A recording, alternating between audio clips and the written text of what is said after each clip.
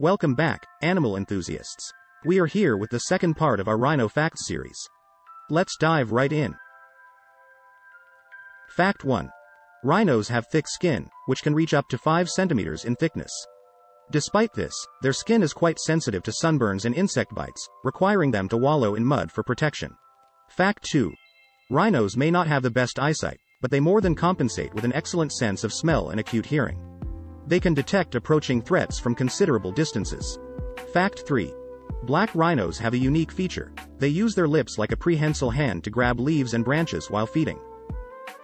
Fact 4.